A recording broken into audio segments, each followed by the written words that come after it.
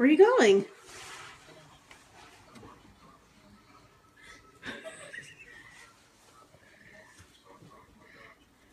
Where are you going, birthday buddy? No, not back there. That's not where you should go. You know we could do this with Buddy also.